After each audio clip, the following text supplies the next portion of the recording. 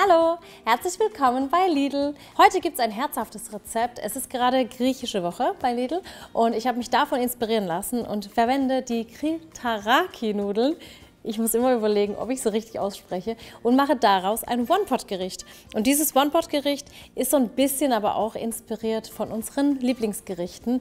Murat liebt nämlich One-Pot-Nudel-Eintöpfe mit Hackfleisch und einer Joghurtsoße. Und das wandle ich jetzt heute ein bisschen ab und mache daraus ein griechisches Rezept oder ein griechisch angehauchtes Rezept. Und vor allem ist es super, weil dieses Rezept innerhalb von 20 Minuten fix und fertig auf eurem Tisch steht. Ich zeige euch mal die Zutaten. Ich verwende dafür 500 Gramm Hackfleisch Hackfleisch vom Rind, eine rote Zwiebel, eine Knoblauchzehe, etwas Olivenöl, 500 Gramm Kritaraki-Nudeln, 750 Milliliter Wasser, Salz, Pfeffer und etwas Rosmarin. Und zum Anrichten nehme ich dann noch einen Joghurt. Hier könnt ihr jetzt einen griechischen Joghurt oder auch einen 3,5-prozentigen nehmen. Cocktailtomaten, Feta-Käse, der ist jetzt hier im Holzfass gereift, Knoblauch, Salz, Pfeffer und ein bisschen Thymian. Ich bereite es jetzt hier in einer Gusseisenpfanne zu. Ihr könnt aber auch eine beschichtete Pfanne zum Beispiel nehmen. Gusseisen ist nur immer ganz gut, weil man es hoch erhitzen kann und sich da eben ganz toll diese Röstaromen entwickeln. Da werde ich jetzt das Olivenöl drin erhitzen und dann das Hackfleisch anbraten. Und hier jetzt einfach schön krümelig anbraten.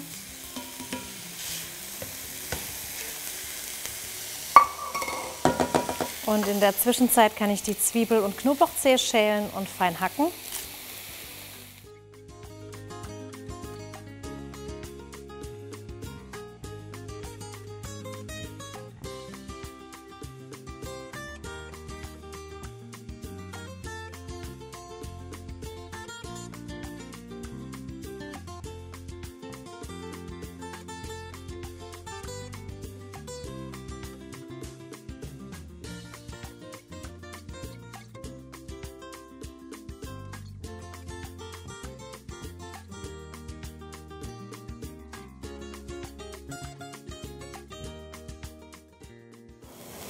Wenn das Fleisch dann krümelig angebraten ist, gerne die Zwiebel und Knoblauchwürfel dazugeben. Und schön mit anbraten. Und das ist so ein Gericht, das lieben meine Kinder, weil einfach Hackfleisch mit Nudeln zusammen schon lecker ist. Aber dann noch in Verbindung mit Joghurt ist schon sehr, sehr gut. Und es geht halt auch super schnell. Also das kann man einfach immer mal schnell am Nachmittag oder am Abend kochen und hat schnell was Leckeres, Sättigendes, was allen schmeckt. So, das brate ich hier jetzt einfach so drei Minuten mit, bis die Zwiebeln leicht glasig sind.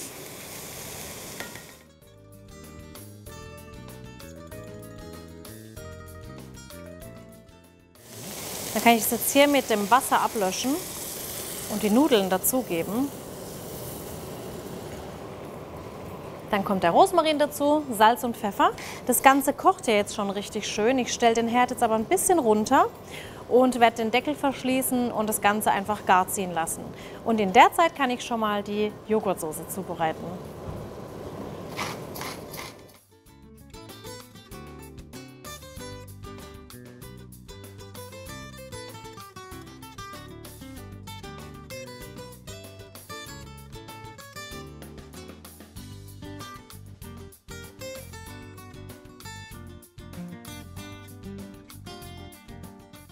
Also hier habe ich jetzt den Joghurt. Wenn ihr möchtet, könnt ihr auch wirklich gerne griechischen Joghurt nehmen. Der ist nochmal viel, viel cremiger.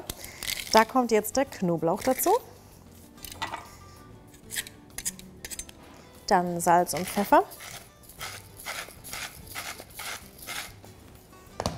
Und Pfeffer immer schön frisch gemahlen. Und wenn ihr möchtet, könnt ihr da noch Thymian dazugeben gerne frisch oder getrocknet. Das passt nämlich auch sehr gut dazu. Minze passt auch super dazu. Das ist auch ein tolles Gewürz.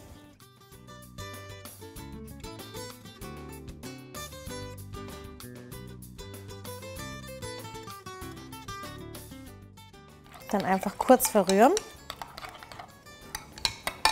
Und dann werde ich die Tomaten hier noch vierteln Und im Prinzip ist das Essen jetzt auch gleich fertig. Ich habe den Herd jetzt auch schon ausgemacht, denn das muss wirklich nur kurz aufkochen. Im Gusseisentopf kann es dann wirklich bei ausgeschaltetem Herd einfach kurz weiterziehen und dann sind die Nudeln schon gar. Falls ihr keinen Gusseisentopf habt, sondern eine normale Pfanne, einfach so ein paar Minuten köcheln lassen, dann den Herd ausschalten und dann ziehen die Nudeln auch schön durch und verkochen euch dann auch nicht. Und dann hole ich mir jetzt gleich schon mal zwei Platten und kann das Essen anrichten.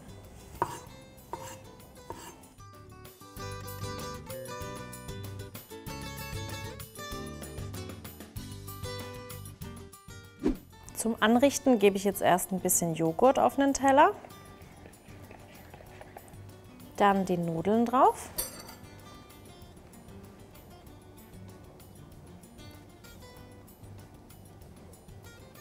Und jetzt noch Käse, Tomaten und ein bisschen Paprikapulver drüber.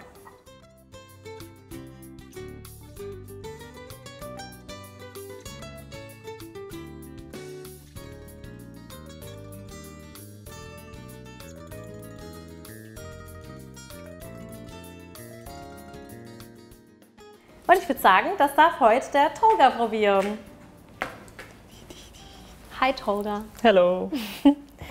ähm, griechische Woche. Mhm. Und deswegen haben wir gedacht, sieht lecker aus. Mache ich aus diesen Nudeln ein leckeres Nudelgericht. Sieht lecker aus.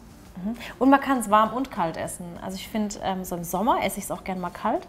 Darf auch gerne über Nacht im Kühlschrank ziehen. Und äh, ansonsten esse ich es auch gerne warm. Und im Winter würzt sich sowas dann noch gerne mit Kreuzkümmel. Dann hat es so, so, so ein warmes Gewürz. Mhm. Also. I will try. Alles auf einen Löffel, oder? Ja. Nicht den ganzen Teller, aber schon so von allem was. ich habe es gerade schon abgeschmeckt. Mm. Und? Oh, richtig ist gut. gut? Mhm. Ich glaube, ich ähm, manchmal mag ich dreieinhalbprozentigen Joghurt, manchmal aber auch den, den zehnprozentigen. Mhm. Und bei 10%. dem Gericht, ich finde, wenn man 10% macht, dann ist cremig und lecker. Mhm. Wenn man es ein bisschen leichter will, kann man echt den dreieinhalbprozentigen aber auch ganz gut nehmen, finde ich. 10% wäre auch super. 10% ist auch schon immer gut, ja. Also, das war's für heute. Falls ihr das Gericht ausprobieren wollt, dann findet ihr das Rezept auf lidlkochen.de. Schreibt mir gerne mal euer Feedback dazu und dann sehen wir uns wieder nächste Woche mit einem neuen Rezept. Willst du, kannst du dir auch mal ein Rezept wünschen? Oh, ja, mhm. mache ich. Ja, schreib's einfach in die Kommentare. Okay. Tschüss. Und ihr dürft den Kanal übrigens gerne abonnieren und die Glocke aktivieren, dann verpasst ihr auch keins der Lidl-Rezepte mehr. Bis zum nächsten Mal. Tschüss.